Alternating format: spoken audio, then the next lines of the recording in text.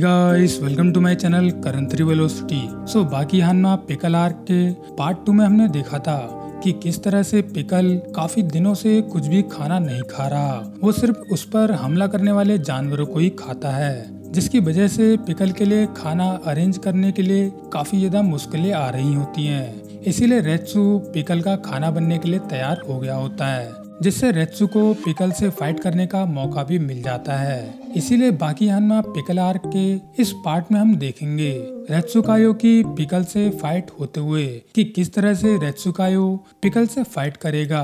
क्या pickle Retsu Kaioh को ज़िंदा ही खा जाएगा या फिर रेत्सुकायो अपने मार्शल आर्ट के दम पर पिकल का खाना बनने से बच पाएगा। खैर, वीडियो पसंद आए तो वीडियो को लाइक कर देना और मूड बन जाए तो चैनल को सब्सक्राइब तो कर ही देना। So Baki Hanma Pickle arc का पार्ट थ्री शुरू होता है। हम पहुँचते हैं अंडरग्राउंड फाइटिंग अरीना में, जहाँ पिकल अरीना के सेंटर में केयरलेसली सो रहा होता है, जिस पर टुकुगावा कहते हैं। जिस तरह से पिकल सो रहा है, ऐसा लगता है उसे किसी भी चीज़ से डर नहीं लगता। वैसे भी इस दुनिया में ज़्यादातर जानवर किसी शेल्टर या घोंसले में रहते हैं। लेकिन उसे देख लो, उसे कोई भी फ़र्क नहीं पड़ता। जैसे कि कोई शेर सवाना के जंगलों में सो रहा हो, जैसे कि पिकल कोई जंगलों का राजा हो। क्या पिकल डायनासोर के जमाने में भी इसी तरह से सोता होगा? सोचने वाली बात है। जिस पर डॉक्टर पाइन चिल्लाते हुए कहते हैं, मिस्टर टोकुगावा, अगर आप लोग पिकल के बारे में इतना ही जानते हैं तो आप कैसे किसी इंसान को पिकल से लड़ा सकते हैं? तुम जानते हो ना इसका रिज़ल्ट क्या होगा? जिस पर कैप्टन स्ट्रैडम कहते हैं, वेल, मिस्टर पाइन, हम लोग जानते हैं इस लड़ाई में क्या हो सकता है। भगवान की खतरनाक इस दुनिया में अर्थ ने पिकल को नेचुरल ताकत दी है और उसी भगवान के 4000 सालों ने रेत्सु कायो को उसकी बेहतरीन चाइनीज़ मार्शल आर्ट्स दी है। एक बार सोच के देखो आगे क्या होगा अगर वो दोनों लड़ते हैं। जिस पर अल्बर्ट पाइन गुस्सा करते हुए फिर से कहते हैं, आगे कुछ भी नहीं होगा, रेत्सु मारा जाएगा। जिस पर यहाँ टुकुआवा कहते हैं मार्शल आर्ट एंड ग्रैपलिंग की हिस्ट्री में ह्यूमंस को क्या मिला है? क्या वो एक आदि मानव से हारने की तैयारी कर रहे थे? जिस पर डॉक्टर अल्बर्ट पाइन समझाते हुए कहते हैं, मिस्टर टोकुगावा स्टाइडम आप लोग समझ नहीं रहे। तुम अभी तक नहीं समझे पिकल की ताकत क्या है। ग्रैपलिंग टेक्निक्स को हम लोग जिन अपोनेंट के अगेंस्ट यूज़ करते हैं, उनकी स्ट्रेंथ एक जेवरा या फिर शेर की जितनी होती है। कर यहाँ पर डॉक्टर पायन आगे भी अपनी बातें बताई रहे होते हैं। उसी वक्त पिकल अपनी नींद से उठकर बैठ जाता है, जिसे देखते ही टुकुआवा डॉक्टर पाइन को शांत रहने के लिए कह देते हैं। जिस पर डॉक्टर पायन अपने मन में सोचते हुए कहते हैं, आखिर ये लोग मुझे शांत रहने के लिए कैसे कह सकते हैं? मैं नोबल प्राइज विनर हूँ। आखिर तुम लोग मेरी बात सुनना क्यों नहीं चाहते? मैं जानता हूँ, ये लड़ाई काफ़ी एक्साइटिंग होगी। मगर तुम लोगों ने देखा है, पिकल अपने शरीर से सुपर ह्यूमन जैसी चीज़ें कर सकता है। पिकल की ये ताकत आज के जमाने के इंसानों या फिर जानवरों से कहीं ज़्यादा है। उसकी बॉडी की ताकत डायनासोर्स को हंट करने और उन्हें खाने के लिए बनी है। और आप लोग उसका मैच एक मार्शल आर्टिस्ट से नहीं कर सकते। मिस्टर टुकुगावा, क्या मैंने पिकल को जगा दिया? जिसपे टुकुगावा कहते हैं। नहीं, मिस्टर पाइन, ऐसा नहीं है। आप बातें ज़रूर कर रहे थे, लेकिन वो आपकी बातों से नहीं जागा। उसके जागने की बजाय कुछ और ही है। खैर, इसके बाद हम देखते हैं रेत्सुकायो अरीना की ओर बढ़ रहा होता है। और यहाँ पर रेत्सु के आने को पिकल सेंस करके खड़ा हो जाता है, जिस पर डॉक्टर पायन हैरान होते हुए कहते हैं, पिकल अभी अभी खड़ा हो गया। पिछली बार तो वो एक शेर आने पर भी नहीं हिला था। सिर्फ़ पिकल ने साइबेरियन टाइगर के आने पर रिएक्ट किया था, जिस पर टुगुआ कहते हैं दैट्स राइट मिस्टर पाइन हमें चाइनीज़ मार्शल आर्ट्स की पावर को कम नहीं समझना चाहिए। खैर, यहाँ पर होता ये है रेत्सुकायो कूदते हुए पिकल के सामने आ जाता है। जिसकी वजह से पिकल डरते हुए अपने हंटिंग मोड में आ जाता है। जिसे देखकर रेत्सु कहता है, पिकल, तुम एक फाइटिंग स्टैंड का यूज़ कर रहे हो। मेरे लिए ये मोमेंट काफ़ी कीमती है और मैं तुम्हारे साथ अपनी पूरी ताकत से लड़ना चाहता हूँ। खैर, यहाँ टुकुगावा के हिसाब से पिकल एक डिफेंस स्टैंड में होता है और रेत्सु पिकल की पर्सनल टेरिटरी में घुसने की कोशिश कर रहा है, जिसे देखकर यहाँ सभी जानना चाहते हैं कि पिकल अब रेत्सु के साथ आगे क्या करेगा। फाइट में हम देखते हैं पिकल गुर्राते हुए रेत्सु पर एक ज़बरदस्त पंजे से अटैक करता है, जिसकी वजह से रेत्सु घिसड़ते हुए तेज़ी से अरीना की बाउंड्री से टकरा जाता है। लेकिन रेत्सु इसके बाद अपने पैरों पर खड़ा होते हुए कहता है ओ यस। सच में मैं तुम्हारी ताकत समझ चुका हूँ। मैं सिर्फ़ ताकत के दम पर तुमसे नहीं जीत सकता। मुझे अपनी ट्रिक्स भी तुम पर यूज़ करनी होंगी। सो so, इसके बाद रेत्सुकायो पिकल की ओर धीरे धीरे आगे बढ़ने लगता है और पिकल भी रेत्सु के ऊपर गुर्राने लगता है। और तभी रेट्सो अपने 360 किक से पिकल के फेस पर एक ज़बरदस्त अटैक करने के बाद उसकी आँखों में अपनी चुटिया से हमला कर देता है, जिसकी वजह से पिकल की आँखें बंद तो हो जाती हैं और इसी बीच यहाँ पर रेत्सु रुकता ही नहीं। वो अपनी ज़बरदस्त किक से पिकल के फेस पर एक से एक अटैक करने लगता है। खैर, यहाँ पर पिकल को रेत्सु के इन अटैक से ज़्यादा फ़र्क नहीं पड़ रहा होता। मगर पिकल की आँखों में चुटिया लगने की वजह से उसकी आँखों में से काफ़ी तेज आँसू निकलने लगते हैं, जिस पर रेत्सु कहता है, जिस तरह से पिकल ज़मीन पर गिरा और मेरी फुल स्पीड की एक किक उसे पड़ी। अगर यही किक कोई आम इंसान को पड़ी होती तो वो आसानी से मारा जाता।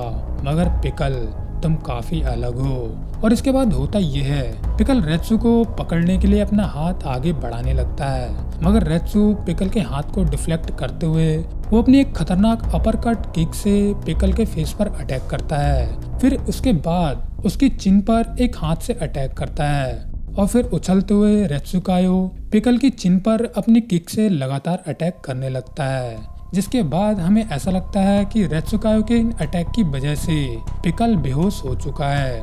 मगर इसके बावजूद रेत्सुकायो अपनी ज़बरदस्त किक और पाम अटैक से उसकी चिन पर अटैक करता रहता है।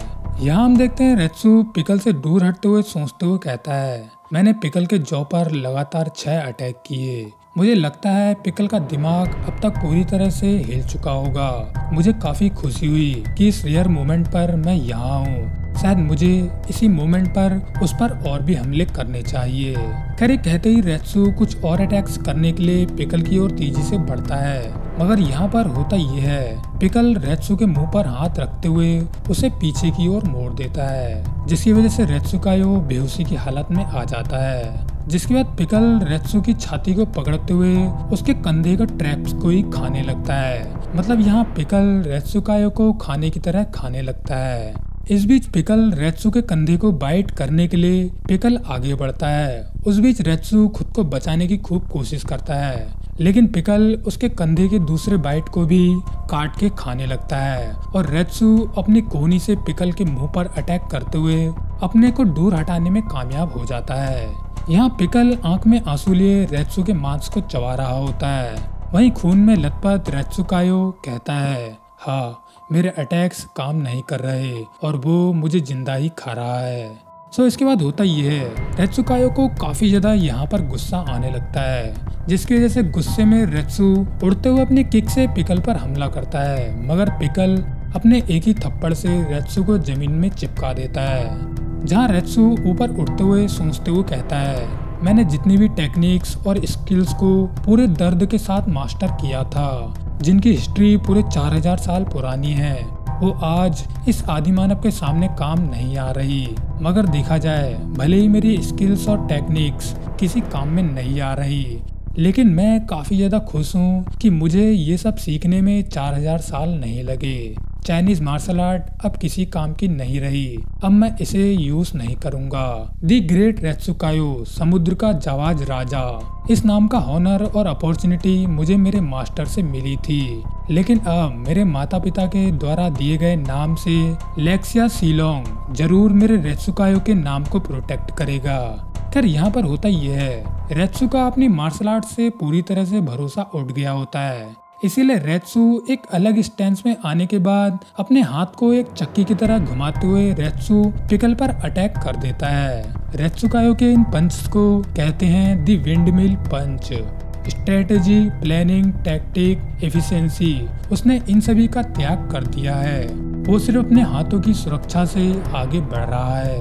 हम देखते हैं रेत्सुकायो के सभी पंचेस लगातार पिकल को पढ़ रहे होते हैं। और रेत्सुकायो के ये सभी पंचेस काफ़ी ज़्यादा हार्ड होते हैं। लेकिन पिकल के लिए ये पंचेस काफ़ी ज़्यादा कमज़ोर होते हैं। इसीलिए पिकल यहाँ पर खुद को डिफेंड करने के लिए कुछ भी नहीं करता।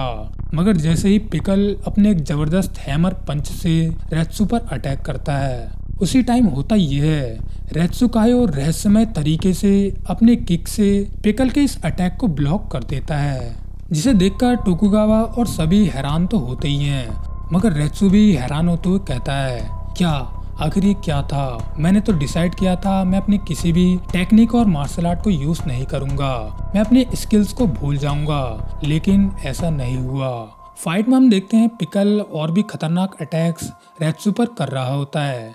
लेकिन रेत्सु उन सभी अटैक्स को ऑटोमेटिकली ब्लॉक करने लगता है, जिसके बाद रेत्सु उछलते हुए पिकल के फेस पर एक ज़बरदस्त अटैक करने में भी कामयाब हो जाता है। जिसे देखकर दर्शकों की आँखें खुली की खुली ही रह जाती हैं। जहाँ रेत्सु भी कहता है, आखिर ये कैसे हो रहा है? क्या मेरे नाम लेक्सियो सिलोंग ने रेत्सु कायो को बचा लिया? आखिर ये क्या है? मुझे काफ़ी हल्का फील हो रहा है। क्या मेरे पीछे कोई है शायद? खैर रेत्सु के पीछे हम रेत्सुकायो की वॉरियर स्पिरिट को देखते हैं, जो कि रेत्सुकायो से कहती है, रेत्सु, इतना परेशान क्यों हो? अपना होश खोना बंद करो। रेत्सु, क्या तुम मुझे नहीं जानते? रेत्सु, मैं ही तुम हूँ। मैं वही रेत्सु हूँ जो तुम बनने की कोशिश कर रहे थे, जो तुम बनना चाहते थे। मैं ही तुम हूँ, टुरु रेत्सु। जिस पर रेत्सु कहता है, मेरी स्पिरिट आखिरी बात कैसे कर सकती है? क्या ये मेरी कंप्लीट फॉर्म है? जिस पर स्पिरिट रेत्सु रेत्सु से कहता है, ये काफ़ी अजीब है। जिस विंड मिल पंच यूज़ करके तुमने जिस स्किल टेक्निक नॉलेज को प्रोटेक्ट करने की कोशिश की, जिस नॉलेज को तुमने अपनी पूरी लाइफ प्रोटेक्ट किया, इसी वजह से तुम्हारे स्किल्स और मार्शल आर्ट्स तुम्हें कभी भी अकेला नहीं छोड़ेंगी। रेत्सु, मेरे पास आओ। तुम मेरे ही पार्ट हो। मुझ पर भरोसा करो। चार हज़ार साल का बोझ अपने ऊपर मत डालो। परेशान होना बंद करो। अपने शरीर पर और अपने स्किल्स पर बने रहो।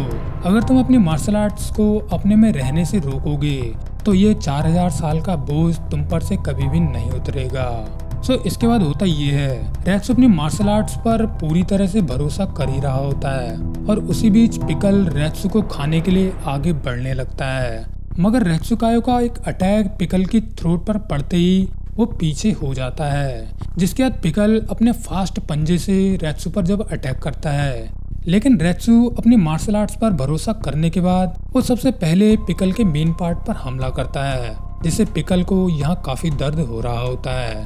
और इसके बाद रेत्सुकायो की ज़बरदस्त तीन किक्स पिकल के फेस पर कनेक्ट हो जाती हैं, जिसकी वजह से पिकल जब नीचे मुँह के बल गिर रहा होता है उसी वक्त रेत्सु अपने घुटने से पिकल के मुँह को टकरा देता है जिसकी वजह से होता ये है पिकल बेहोश होकर ज़मीन पर गिर जाता है। अरीना में बैठे हुए टोकुगावा रेत्सु की शानदार परफॉर्मेंस को देखकर कहते हैं सो so, इसे कहते हैं रेत्सुकायो की असली ताकत। डॉक्टर अल्बर्ट पाइन तुमने देखा? रेत्सु की वो लास्ट स्ट्राइक काफ़ी खतरनाक थी। मुझे तो लगता है पिकल का दिमाग पूरी तरह से डैमेज हो चुका होगा। जिस पर डॉक्टर अल्बर्ट पाइन गंभीरता से टोकुगावा से कहते हैं। मिस्टर टोकुगावा, सर, मुझे लगता है ये बिल्कुल भी सच नहीं है। भले ही रेत्सु ने पिकल के सामने इतनी देर तक सरवाइव किया हो, जो मेरे लिए काफ़ी हैरान करने वाला है। लेकिन बात रही पिकल के दिमाग की तो उसे कोई भी डैमेज नहीं हुआ होगा, क्योंकि आप लोगों ने पिकल के बॉडी स्ट्रक्चर को देखा ही नहीं है। सो जब हमें पिकल की बॉडी मिली थी और हम उस पर स्टडी कर रहे थे। तब हमें पता चला कि पिकल का पूरा शरीर इंसानों से काफ़ी ज़्यादा मैच करता है। उसका मस्कुलर सिस्टम इंटरनल ऑर्गन और स्केलेटन सिस्टम सब इंसानों की तरह ही फ़ंक्शन करते हैं। मगर सबसे अलग बात क्या है? पिकल के शरीर में एक चीज़ सबसे ज़्यादा अलग थी उसकी खोपड़ी से जुड़ी हुई उसकी रीढ़ की हड्डी, जो कि नॉर्मल से काफ़ी ज़्यादा मोटी और थिक थी। पिकल की रीढ़ की हड्डी का मुकाबला हम आज के इंसानों से नहीं कर सकते, मगर पिकल की रीढ़ की हड्डी का स्ट्रक्चर एक बीस्ट बुल से मैच करता है। हाँ सही समझे। इसका मतलब ये है, पिकल जब बड़ा हो रहा था, तब वो झुककर अपने पैरों पर चलता रहा होगा। इसी वजह से इंसानों पर यूज़ की जाने वाली 4000 साल से डेवलप टेक्निक्स जो इंसानों पर यूज़ की जाती हैं, वही टेक्निक पिकल के सामने फीकी पड़ जाती हैं। खैर, फाइट में हम देखते हैं कि अचानक से पिकल उठते ही चार पैरों वाले अटैक मोड में आ जाता है। जैसे कि कोई जानवर हमला करने की तैयारी कर रहा हो, जिसे देखकर रेत्सु भी हैरान होते हुए कहता है, अरे, अब ये क्या है? अब ये कौन सा स्टैंस है? आगे की ओर झुककर हमला करना। इसी तरह का स्टैंस रनर्स स्पीड पाने के लिए करते हैं। सुमो रेसलर भी कुछ इसी तरह का स्टैंस स्ट्राइक करने के लिए करते हैं। मगर पिकल का ये स्टैंस सभी से काफ़ी ज़्यादा अलग है। ये तो उन सभी से और भी झुका हुआ है। इसकी झुकावट को तो हम एक जंगली शेर से कंपेयर कर सकते हैं। ये स्टैंस एक जंगली जानवर का है, जो कि सिर्फ़ अटैक करने के लिए बना है। इस अटैक में वो ना तो पीछे हट सकता है, ना वो इधर उधर मुड़ सकता है। भले ही ये स्टैंस कितना ही खतरनाक क्यों ना हो, मुझे इसका सामना करना ही होगा। मैं बच के नहीं जा सकता, जिसके बाद मैं अपने cursing fist mid level attack को यूज़ करूँगा। जो कि चाइनीज़ मार्शल आर्ट का सिंबल है। मैं अपनी पूरी ताकत से, अपने इस पंच से पिकल पर अटैक करूँगा। क्या यहाँ पर हम देखते हैं रेत्सुकायो अपने स्टैंड के साथ एक पंच बनाकर यहाँ पर खड़ा होता है। और पिकल भी अपने जानवर वाले स्टैंड में अटैक करने के लिए रेडी होता है। इस ज़बरदस्त मोमेंट पर पिकल की बॉडी में एक स्पार्क होता है और वो अपनी पूरी ताकत के साथ रेत्सु की ओर स्ट्राइक कर देता है। पिकल ने इसी तरह से ट्रायनोसोरस को अपने जमाने में मारा था, जिसके बाद पिकल ने अपने इसी तरीके से ट्राइसेराटॉप्स को स्मैश और ब्रैकियोसोरस को हंट किया था, क्योंकि पिकल अपने इस टेक्निक और तरीके में अपनी मैक्सिमम पावर को यूज़ करता था। हम यहाँ पर देखते हैं कि पिकल के इस अटैक में रेत्सु को पिकल अच्छे से दिखाई भी नहीं दे रहा होता। मगर रेत्सुकायो इस बीच अपने अनयूजुअल पंच से पिकल पर अटैक कर देता है, जिसकी वजह से हमें लगता है कि यहाँ पर पिकल को कुछ हद तक तो नुकसान हुआ ही होगा। मगर यहाँ पिकल की ये स्ट्राइक इतनी ताकतवर होती है कि इसकी वजह से रेत्सुकायो अरीना से उड़ते हुए एंट्री गेट के अंदर दीवार पर काफ़ी तेज़ी से टकराता है और वहीं रेत्सुकायो बेहोश हो जाता है। और इसी प्रकार एंसेंट अटैक के सामने एक मॉडर्न अटैक यूजलेस हो जाता है। सो so, इसके बाद हम देखते हैं कि पिकल की आँख पर रेत्सु के उस पंच से काफ़ी असर हुआ होता है। जिसकी वजह से उसकी आँख से पानी भी निकलने लग गया होता है। और इसके बाद होता यह है, पिकल काफ़ी टाइम से भूखा था, इसीलिए पिकल रेत्सु की ओर जाने लगता है। जहाँ टोकुगावा पिकल से चिल्लाते हुए रोकने की कोशिश करते हैं, मगर पिकल अपने एक ही पंजे से टोकुगावा को उड़ाकर फेंक देता है। जिसके बाद होता यह है, पिकल बेरहमी से रेत्सु के एक पैर को तोड़कर वहीं पर खाने लगता है। साथ में ही पिकल रेत्सु के लिए काफ़ी ज़्यादा सैड भी होता है। जिसके बाद होता यह है, डॉक्टर अल्बर्ट पाइन पिकल को एक इंजेक्शन की मदद से यहाँ पर बेहोश कर देते हैं, जिसकी वजह से पिकल के द्वारा रेत्सु को पूरा खाए जाने से बचाया जा सकता है। और यहीं पर बाकी हानमा पिकल आर्क का पार्ट टू एंड हो जाता है। और अब इसके अगले पार्ट में हम पिकल की फाइट कात्सुमे ओरोची से होते हुए देखेंगे, जो कि काफ़ी ज़्यादा एक्साइटिंग होगी। जिस फाइट को मैं एनिमे जिस फाइट को मैं एनिमे से हटकर डिटेल में एक्सप्लेन और नरेट करने वाला हूँ। सो अब मिलते हैं बाकी हनमा पिकल आर्क के पार्ट फोर में। So tata bye bye take care